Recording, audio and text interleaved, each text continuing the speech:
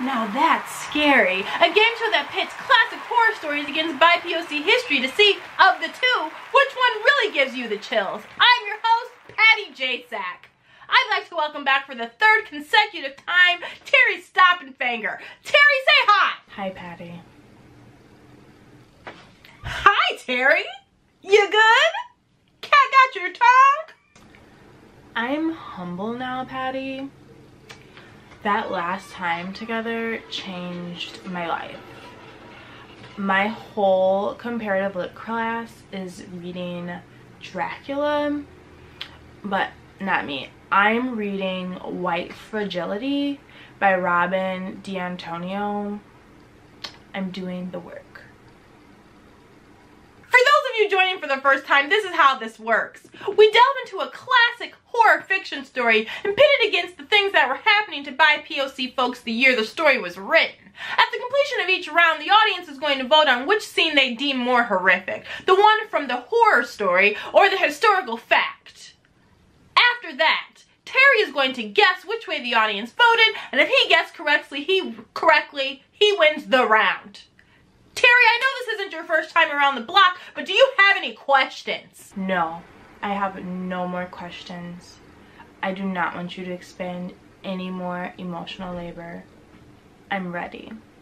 Wonderful! Let's take a minute to say hi to the audience.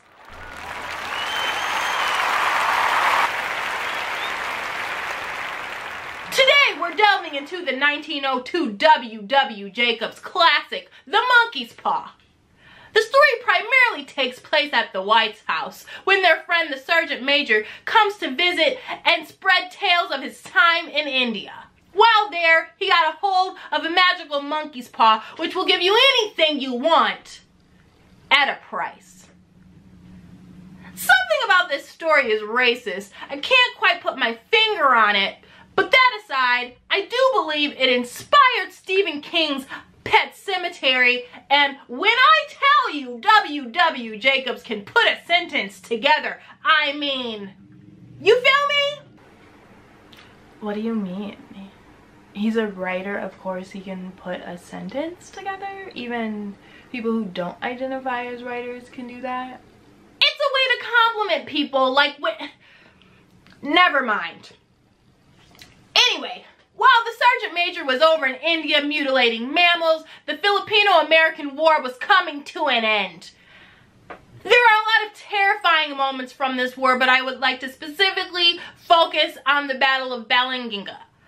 Now, again, we're going to have to have a hefty backstory because, you know, when white Americans start clowning, there's really a lot of intricacies to unpack because if there's one thing they like to not be held accountable for, it's their clowning. I've got receipts though, don't worry. Picture this, it's 1898. Upon the completion of the Spanish-American War, the United States found itself with two Spanish colonies now in their hands. They knew they weren't going to keep Cuba, were interested in annexing the Philippines. President William McKinley believed that it was God's will for the Americans to uplift and civilize and Christianize the Filipinos and believed that they were unfit for self-government. The treaty to annex only passed by one vote. Later that year, the Philippines declared war on the United States.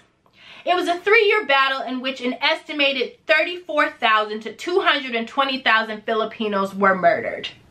Whose job was it to do the bookkeeping on the massacre, am I right? It's almost as if they didn't really care how many people they killed. Anyway, one of the most disturbing battles was the 1901 Battle of Balinginga. On September 28, 1901, 48 members of the U.S. 9th Infantry were ambushed by irregular forces made up of the chief of police, local police officers, government officials, villagers, and augmented by soldiers of the Philippine Republican Army. We're all rooting for the brown people whose country is being passed around like a cheap thrill, right? Because, ah, they won! But if there's one thing we know white people can come hard with, it's the vengeance. When the U.S. came back to retaliate, General Smith is quoted by the New York Times as saying, kill everyone over the age of 10. It is said that the United States murdered more people during their short time reigning over the Philippines than Spain did in their 333 years of rule. All right, let's play. Oh my god. Oh my god. Yeah, wow. Like, I am working through my fragility, but I don't know if I feel comfy, like... Which is scarier?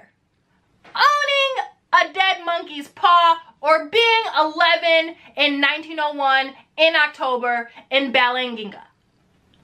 One minute on the clock. 30 seconds.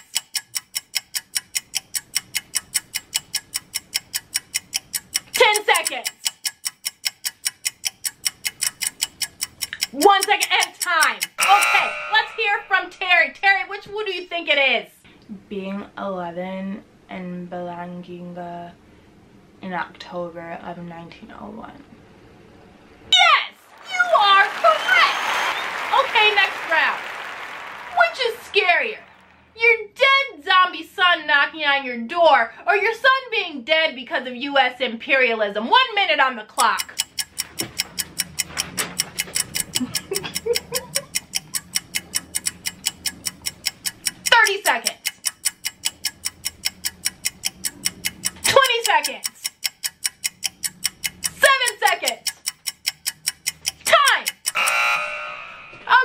Okay, what do you got? It's the historical fact. You are correct! I'm shocked. All right, Terry, which is scarier?